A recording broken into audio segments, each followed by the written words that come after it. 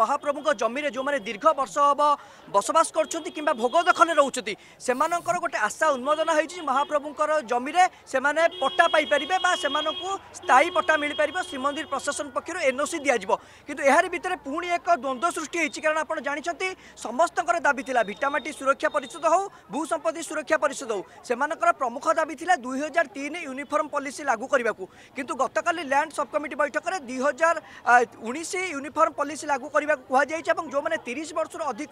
বসবাস করবে সে ছ লক্ষ টাকা দেবে দশ প্রতিশত দেবে এবং যে কোড়ি রু তিরিশ বর্ষ মধ্যে রয়েবে সে ন লক্ষ টাকা এবং যে বার বর্ষ রু কোড়ি বর্ষ মধ্যে ঘর করবে সে পঁচিশ লক্ষ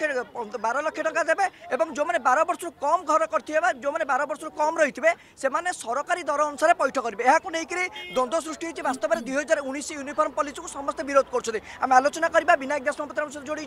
দুই হাজার উনিশ ইউনিফর্ম পলিসি আধারে সবুকিছি করা যাব বলে কুহগলা নবে দিন ভিতরে অর্থরাশি পৈঠ কলে বিধিবদ্ধ ভাবে পঠা দিয়ে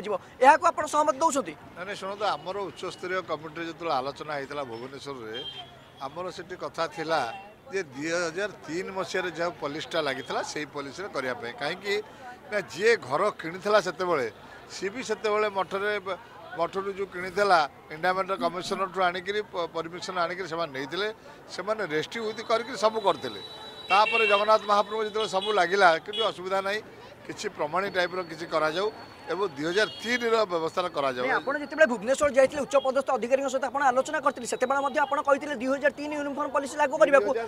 দুই হাজার তিন কে এবং যে এক ডিসিপ্লিন দশ ডিসিপ্লিন অছে তাকে ফ্রি করা যাও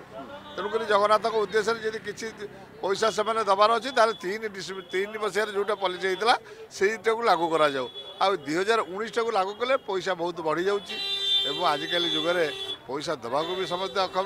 ল্যান্ড সব কমিটি আউ থরে পুনর্বিচার করিবার আবশ্যক রয়েছে কারণ আসন্তা পরিচালনা কমিটির ଏହା উপরে মোহর বাজিবার আছে না না শুনন্তু পরিচালনা কমিটির মোহর বাজু পরিচালনা কমিটি সবু দৃষ্টির দেখন্তু যে